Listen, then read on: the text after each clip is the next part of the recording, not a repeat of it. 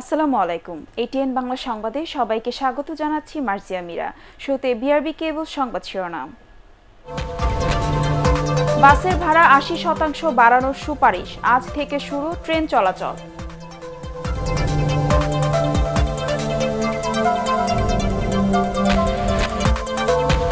দেশে চব্বিশ ঘন্টায় করোনায় আটাশ জনের মৃত্যু। নতুন করে আক্রান্ত এক হাজার সাতশো চৌষট্টি জন।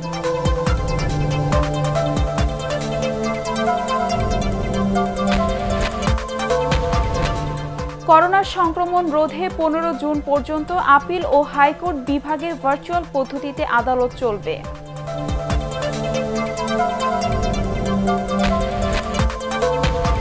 এবং করোনার বিস্তার রোধে স্থানীয় জনপ্রতিনিধিদের সম্পৃক্ত করার নির্দেশ প্রধানমন্ত্রীর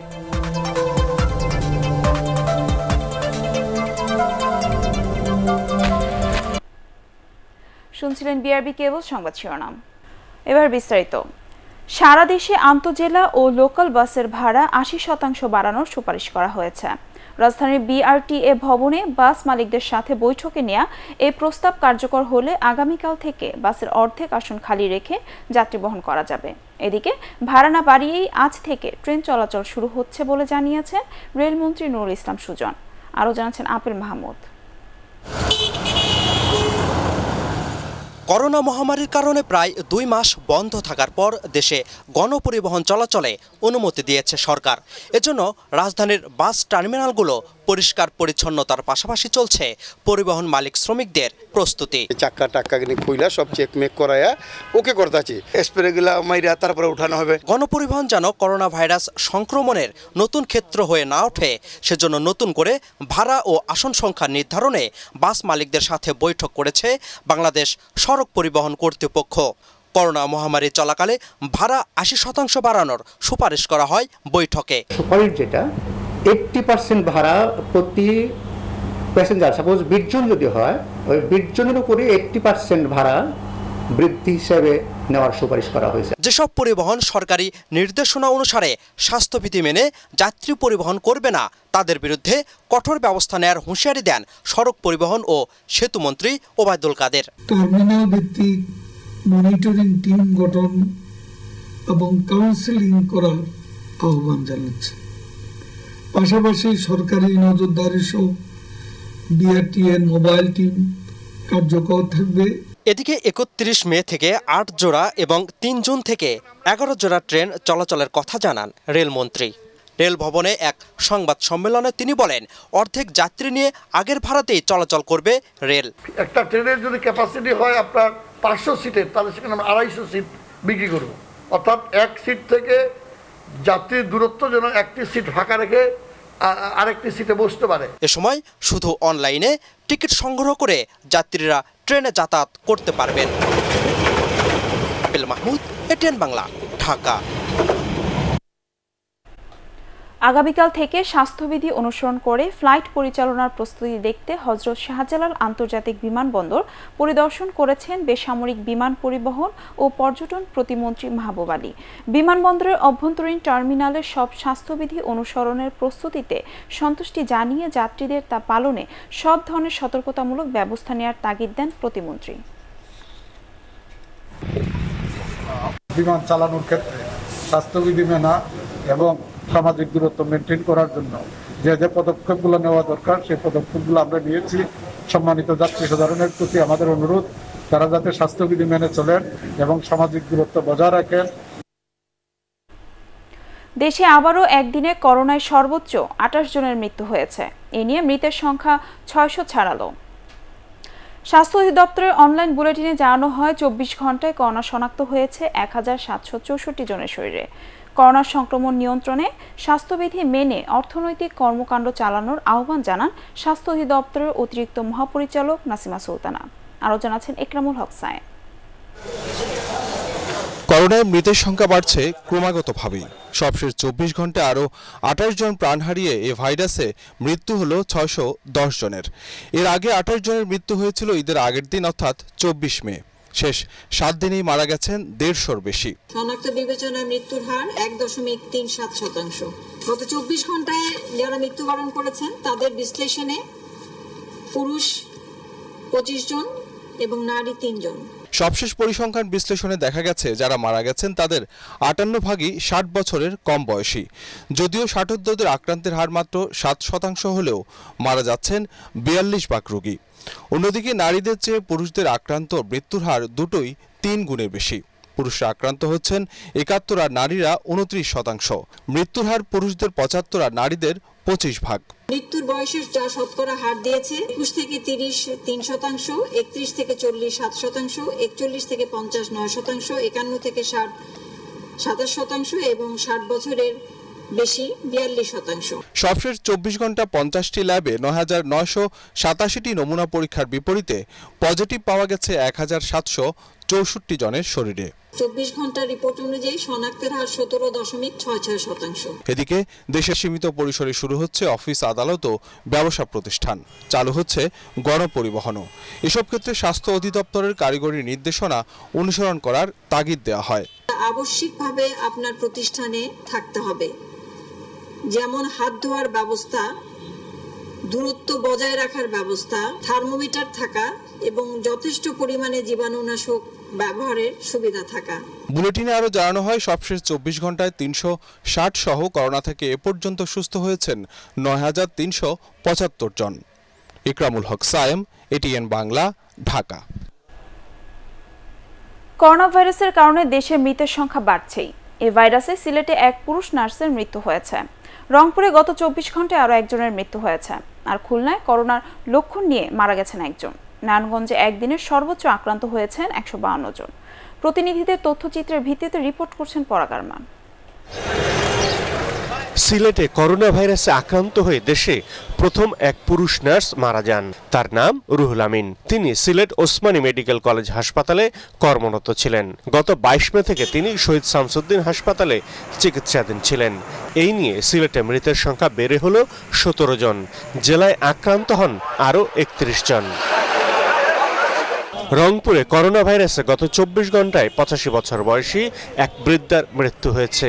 এ পর্যন্ত করোনায় এই জেলায় মারা গেল আটজন রংপুরে পুলিশ, নার্স সহ আরও ষোলো জনের দেহে করোনা শনাক্ত হয়েছে। খুলনা মেডিকেল কলেজ হাসপাতালে চিকিৎসাধীন অবস্থায় করোনার উপসর্গ নিয়ে পঞ্চান্ন বছরের এক ব্যক্তির মৃত্যু হয়েছে। গত চব্বিশ ঘন্টায় খুলনায় এক পুলিশ সদস্য সহ চারজন করোনা রোগী শনাক্ত হয়। নোয়াখালীর নয়টি উপজেলায় লাফিয়ে লাফিয়ে বাড়ছে করোনা রোগীর সংখ্যা। গত চব্বিশ ঘন্টায় জেলায় নতুন করে আরও ছিয়ানব্বই জনের দেহে করোনা ভাইরাস শনাক্ত হয়েছে। এ নিয়ে নোয়াখালীতে মোট আক্রান্তের সংখ্যা পাঁচশো পঁচাত্তর জন। গত চব্বিশ ঘন্টায় বরিশাল বিভাগের পাঁচ জেলায় নয় পুলিশ সহ তেতাল্লিশ জন নতুন করে করোনায় আক্রান্ত হয়। এর মধ্যে বরিশালে নয়, পুলিশ সহ বাইশ জন, ভোলায় একজন, পটুয়াখালীতে পাঁচজন বরগুনায় দশজন ও ঝালকাঠিতে পাঁচজন আক্রান্ত হয়। এ নিয়ে বরিশাল বিভাগের ছয় জেলায় মোট আক্রান্তের সংখ্যা পাঁচশো একজনে দাঁড়িয়েছে আর মারা গেছে দশজন করোনা ভাইরাসের হটস্পটস হিসেবে পরিচিত নারায়ণগঞ্জে গত চব্বিশ ঘন্টায় কোনো মৃত্যু নেই। তবে প্রতিদিনই আক্রান্তের সংখ্যা বাড়ছে। গত চব্বিশ ঘন্টায় একদিনে সর্বোচ্চ একশো বায়ান্ন জন করোনা ভাইরাসে আক্রান্ত হয়েছে। এদিকে ব্রাহ্মণবাড়িয়ায় দুই স্বাস্থ্যকর্মী সহ করোনায় আক্রান্ত হন সতেরো জন। নেত্রকোনায় সোনালী ব্যাংকের এক কর্মকর্তা সহ ছয়জন করোনা রোগী শনাক্ত হয়েছে। বান্দারবানে এক সাংবাদিক সহ নতুন করে ছজন করোনা আক্রান্ত হয়। পরাগারমান, এটিএন বাংলা। প্রাণঘাতী করোনা ভাইরাসের সংক্রমণ রোধে আজ থেকে পনেরো জুন পর্যন্ত সুপ্রিম কোর্টের আপিল ও হাইকোর্ট বিভাগে ভার্চুয়াল পদ্ধতিতে আদালত চলবে। শনিবার সুপ্রিম কোর্টের রেজিস্ট্রার জেনারেল আলী আকবর স্বাক্ষরিত এক বিজ্ঞপ্তিতে কথা জানানো হয়। এজন্য হাইকোর্টের এগারোটি বেঞ্চ গঠন করে দিয়েছেন প্রধান বিচারপতি সৈয়দ মাহমুদ হোসেন। এদিকে আরেক বিজ্ঞপ্তিতে জানানো হয়েছে, নিম্ন আদালতগুলো ভার্চুয়াল পদ্ধতিতে চলবে। সেক্ষেত্রে শুধুমাত্র অতি জরুরি মামলার শুনানি অনুষ্ঠিত হবে। করোনাভাইরাসের বিস্তার রোধে আরও বেশি সংখ্যক স্থানীয় জনপ্রতিনিধিদের সম্পৃক্ত করতে সংশ্লিষ্টদের নির্দেশ দিয়েছেন প্রধানমন্ত্রী শেখ হাসিনা। গণভবনে করোনাভাইরাস প্রতিরোধে গঠিত জাতীয় কারিগরি উপদেষ্টা কমিটির সভায় তিনি এ নির্দেশনা দেন। বৈঠক শেষে প্রধানমন্ত্রীর প্রেস সচিব ইহসানুল করিম জানান, সভায় প্রধানমন্ত্রী প্রাণঘাতী এই ভাইরাসের বিস্তার রোধের পাশাপাশি আক্রান্তদের চিকিৎসা সেবা নিশ্চিতে বিভিন্ন নির্দেশনা দেন। করোনার বিস্তার কমিয়ে আনা ও আক্রান্তদের সেবা প্রদানের ক্ষেত্রে গৃহীত পদক্ষেপ নিলেও নিয়েও বৈঠকে পর্যালোচনা করা হয়।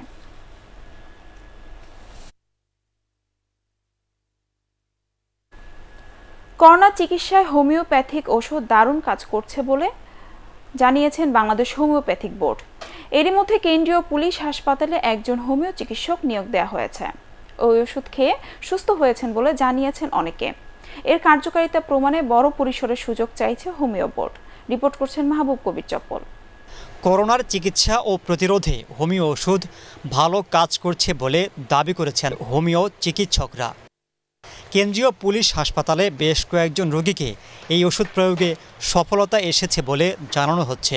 এই সেন্ট্রাল পুলিশ হাসপাতালে করোনা পজিটিভ এই রুগীদের হোমিওপ্যাথিক ওষুধ দেওয়ার পরে অনেকেরই নেগেটিভ হচ্ছে। পুলিশ হাসপাতাল কর্তৃপক্ষ জানিয়েছে করোনা থেকে বাঁচতে তারা সব ধরনের চেষ্টাই করছেন। তবে হোমিও ওষুধ প্রয়োগ করা রোগীরা দ্রুত সেরে উঠছেন। অনেকের কাছ থেকে আমরা যে ফিডব্যাক পেয়েছি তাতে হোমিওপ্যাথি চিকিৎসায় অনেকেই সফলতা পাচ্ছেন বলে আমাদের কাছে জানিয়েছেন। এত মানুষ আক্রান্ত হচ্ছে অথবা মারা যাচ্ছে তারপর কেন মানুষ হোমিওপ্যাথি চিকিৎসাটা নিচ্ছে না অথবা পাচ্ছে না? এটা দুইটা কারণ। একটা হলো যে এটা সম্পর্কে একটা ভ্রান্ত ধারণা আছে মিডিয়ার কারণেই হোক অথবা আমাদের সিস্টেমের লোকজনের কিছু দুর্বলতার কারণেই হোক। দ্বিতীয় কারণ যে সরকারি যেটা পৃষ্ঠপোষকতা দরকার ভারত বাংলাদেশ ছাড়া ওয়ার্ল্ডের অন্যান্য দেশে যে হোমিওপ্যাথির প্রতি পৃষ্ঠপোষকতা নাই বললে চলে। হোমিওপ্যাথিক বোর্ড বলছে ভারত ইতালি সহ বিশ্বের বিভিন্ন দেশ হোমিও ওষুধের পরীক্ষা নিরীক্ষা চালিয়ে সফল হয়েছে। বাংলাদেশে প্রায় দুই লাখ মানুষকে এই ওষুধ দিয়ে ভালো ফল পাওয়া গেছে। কোভিড নাইন্টিন সংক্রমণ প্রতিরোধে হোমিওপ্যাথিক চিকিৎসকদেরকে প্রয়োজনীয় আর্থিক প্রণোদনা এবং সুযোগ সুবিধা দিয়ে যদি সরকারি বা বেসরকারি হাসপাতালে নিয়োগ করা হয় তাহলে বৈশ্বিক এই মহামারী নিয়ন্ত্রণে এবং প্রতিরোধে হোমিওপ্যাথিক চিকিৎসা ব্যবস্থা গুরুত্বপূর্ণ ভূমিকা পালন করতে সক্ষম হবে। মাহবুব কবির চপল এটিএন বাংলা ঢাকা। স্বাস্থ্যবিধির তোয়াক্কা না করে ঈদ শেষে রাজধানীতে ফিরছেন নগরবাসী। কর্মস্থলে ফিরতে অতিরিক্ত ভাড়া ও নানা ভোগান্তির অভিযোগ তাদের। দৌলতদিয়া পাটুরিয়া ঘাট ছাড়াও ঢাকার প্রবেশ পথগুলোতে ছিল বাড়তি ভিড়। বিস্তারিত জানাচ্ছেন শারফুল আলম। প্রিয়জনদের সাথে ঈদ কাটিয়ে এখন রাজধানীমুখী মানুষ। ঢাকায় আসার পথে দৌলদিয়া পাটুরিয়া ঘাটে দক্ষিণ পশ্চিমাঞ্চল ফেরত মানুষের ভিড়। ছয়টি ফেরিতেই চলছে পারাপার। এই সংখ্যা আরও বাড়ানো হবে বলে জানিয়েছে বিআইডব্লিউটিসি। তবে ঢাকায় আসার পথে নানা ধরনের হয়রানির শিকার হতে হয়েছে বলে অভিযোগ যাত্রীদের। রাজবাড়ির থেকে ঢাকায় আসতে আমাদের বাচ্চা নিয়ে অনেক কষ্ট হয়েছে। অটো অটো থেকে মাইন্ডো মাইন্ডো থেকে ফেরি ফেরি থেকে আবার মাইকো দিয়ে জায়গায় আসলাম। দামরা থেকে হ্যাঁ দামরা থেকে আমরা থেকে ঢাকায় কীভাবে আসলাম এই অটো দিয়ে আসছি। ওই ভেঙে চুরে আসা লাগছে খানিক পথ আসা লাগছে। আরিচা ঘাট থেকে এখানে আসতে দুইশো টাকার ভাড়া পাঁচশো টাকা নিচ্ছে। সাধারণ ছুটি শেষে রোববার থেকে খুলছে সব ধরনের অফিস। তাই করোনা মহামারীতে অতিরিক্ত যাত্রী হয়ে কর্মস্থলে ফিরছেন অনেকে। মানছেন না সামাজিক দূরত্ব। প্রশাসনের লোক যদি একটু ভালোভাবে এদের বলে দিত তাহলে এরা ভয় পেতো কিন্তু প্রশাসনের লোক এদেরকে কিছু বলছেও না এরা অতিরিক্ত লোক উঠাচ্ছে ভাড়াও নিচ্ছে বেশি। যাত্রী আনছি পাটুরা ঘাট থেকে চারশো করে নিতেছি। তারপর আপনি এখানে নামাই দিতেছি ওপারের পুলিশের ভয়ে। কেস দিয়ে দিবে। অফিস ও গণপরিবহন চালুর সিদ্ধান্তে আগামী কয়েকদিনে মানুষের ঢাকায় ফেরার চাপ আরও বাড়বে বলে মনে করছেন পরিবহন সংশ্লিষ্টরা। ঈদ শেষে গ্রাম থেকে রাজধানীতে আসা এসব মানুষরা যদি স্বাস্থ্যবিধি মেনে কাজ না করেন তাহলে করোনা সংক্রমণের ঝুঁকি আরও বেশি বেড়ে যাওয়ার সম্ভাবনা রয়েছে বলে মনে করছেন জনস্বাস্থ্য বিশেষজ্ঞরা। এই জন্য সবাইকে সচেতন হওয়ার তাগিদ দিয়েছেন তারা। শরফুল আলম এটিএন বাংলা, ঢাকা। সরকারের একের পর এক ভুল সিদ্ধান্তের কারণে দেশের করোনা পরিস্থিতি মারাত্মক আকার ধারণ করছে বলে অভিযোগ করেছেন বিএনপি মহাসচিব মির্জা ফখরুল ইসলাম আলমগীর। বিএনপির প্রতিষ্ঠাতা জিয়াউর রহমানের উনচল্লিশতম মৃত্যুবার্ষিকী উপলক্ষে তার সমাধিতে শ্রদ্ধা নিবেদন শেষে তিনি এ অভিযোগ করেন। এর আগে বিএনপির স্থায়ী কমিটির সদস্যদের নিয়ে তার সমাধিতে শ্রদ্ধা নিবেদন করেন তিনি। পরে অঙ্গ সংগঠনের নেতারাও জিয়াউর রহমানের সমাধিতে শ্রদ্ধা জানান। এদিকে ভার্চুয়াল মাধ্যমে আয়োজিত এক আলোচনা সভায় দলের স্থায়ী কমিটির সদস্য ও বিএনপি পন্থী কয়েকজন বুদ্ধিজীবী, মহান মুক্তিযুদ্ধ এবং রাষ্ট্র পরিচালনায় জিয়াউর রহমানের নানা অবদানের কথা তুলে ধরেন।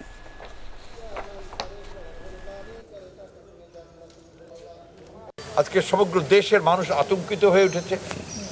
যে পরিমাণ পরীক্ষা হচ্ছে, দেখা যাচ্ছে যে প্রতি দিনই সেটা বাড়ছে। আক্রান্তের পরিমাণ বাড়ছে, মৃত্যুর পরিমাণ বাড়ছে। অথচ বিশেষজ্ঞরা বলছেন যে এখন এই মুহূর্তে একবারে একসাথে খোলা উচিত হবে না সব কিছু সেক্ষেত্রে তারা তাদের কথা না শুনে তারা সব কিছু একসাথে খুলে দিয়ে আজকে আরও বড় একটা হুমকির মুখে আমরা গোটা জাতি পড়ে গেছি।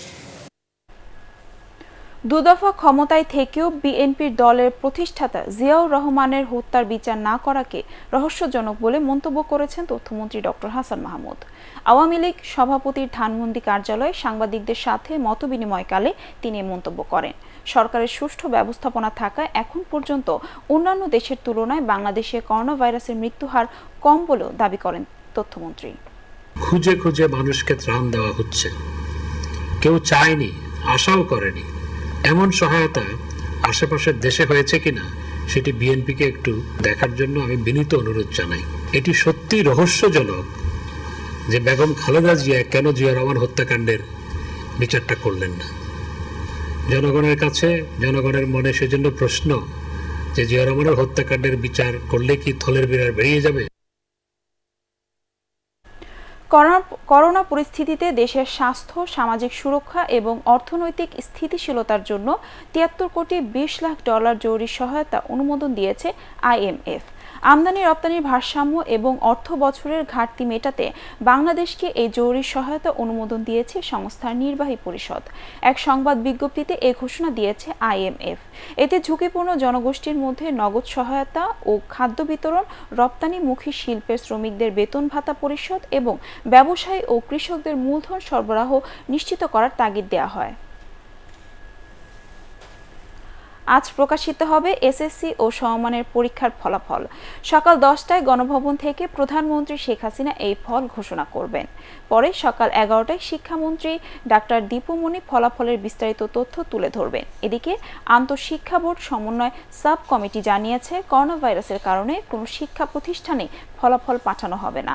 ফল প্রকাশের দিন শিক্ষা প্রতিষ্ঠানগুলোর অফিস বন্ধ রাখতে বোর্ডগুলো থেকে নির্দেশনা দেওয়া হয়েছে। শিক্ষার্থীরা মোবাইল ফোনে প্রি রেজিস্ট্রেশন করে রাখলেই পরীক্ষার ফলাফল সেই নম্বরে পৌঁছে যাবে। শরীয়তপুরের জাজিরা প্রান্তে বসানো হলো পদ্মা সেতুর ত্রিশতম স্প্যান। এর ফলে দৃশ্যমান হয়েছে সেতু সাড়ে চার কিলোমিটার। স্প্যানটির সাতাশ নম্বর পিলারের ওপর বসানো হয়। পুরো সেতুতে মোট পিলারের সংখ্যা বিয়াল্লিশটি। এগুলোর উপর বসবে একচল্লিশটি স্প্যান। প্রতিটির দৈর্ঘ্য দেড়শো মিটার। চীন থেকে তৈরি করে আনা এ ধরনের আরও এগারোটি স্প্যান বসানো বাকি। পদ্মা সেতু প্রকল্পের উপসহকারী প্রকৌশলী হুমায়ুন কবির জানিয়েছেন, বর্ষা মৌসুমের আগে একত্রিশতম স্প্যান বসানোর পরিকল্পনা রয়েছে তাদের। এরপর কেবল বাকি থাকবে মাও প্রান্তে দশটি স্প্যান বসানোর কাজ। শীঘ্রই সেটাও সম্পূর্ণ হবে। এবার জানাব আন্তর্জাতিক সংবাদ।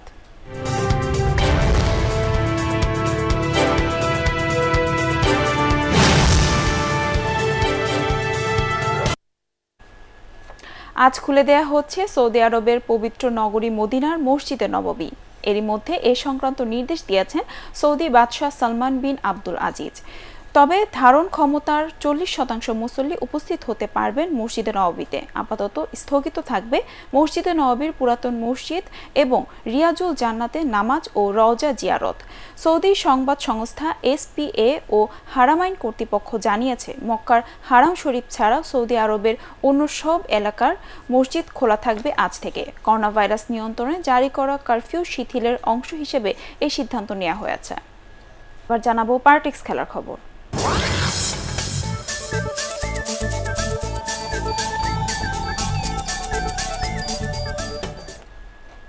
জাতীয় দলের সাবেক ফুটবলার বাফুফের সাবেক সদস্য এবং আবাহনী লিমিটেডের পরিচালক গোলাম রাব্বানি হেলাল ইন্তেকাল করেছেন। ইন্নানিল্লা ওয়া ইনা ইলাহি রাজিউন। তার বয়স হয়েছিল তেষট্টি বছর। দীর্ঘদিন ধরে অসুস্থ ছিলেন তিনি। গত বৃহস্পতিবার ব্রেন স্ট্রোক করলে হেলালকে হাসপাতালে ভর্তি করা হয়। ক্লাব ক্যারিয়ারের হেলাল উনিশশো পঁচাত্তর থেকে উনিশশো আটাশি সাল পর্যন্ত আবাহনীতে খেলেন। উনিশশো উনআশি থেকে উনিশশো পঁচাশি সাল পর্যন্ত জাতীয় দলে দেশের প্রতিনিধিত্ব করেন গোলাম রব্বানী হেলাল। ঘরোয়া ফুটবলে হেলাল অবশ্য আলোচিত হয়ে আছেন আরও একটি কারণে। উনিশশো বিরাশি সালে আবাহনী ও মোহামেডানের খেলা চলাকালে গোলযোগের কারণে আবাহনীর যে চারজন ফুটবলারকে জেল এবং জরিমানা করা হয়েছিল, হেলাল তাদের একজন।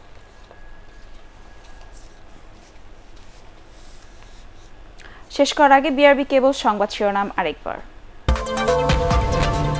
বাসের ভাড়া আশি শতাংশ বাড়ানোর সুপারিশ, আজ থেকে শুরু ট্রেন চলাচল।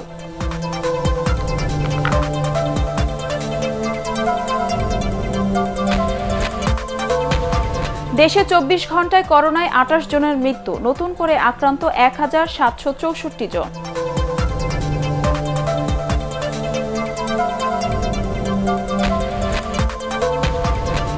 করোনার সংক্রমণ রোধে পনেরো জুন পর্যন্ত আপিল ও হাইকোর্ট বিভাগে ভার্চুয়াল পদ্ধতিতে আদালত চলবে।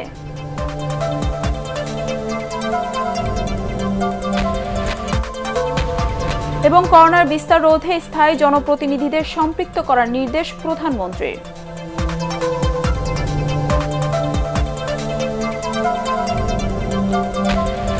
দর্শক, পরবর্তী সংবাদ দেখার আমন্ত্রণ জানিয়ে এখনকার মতো শেষ করছি। সবাই ঘরে থাকুন, নিরাপদে থাকুন। এটিএন বাংলা সংবাদ ইউটিউবে দেখতে ব্রাউজ করুন YouTube slash ATN Bangla news ধন্যবাদ সবাইকে।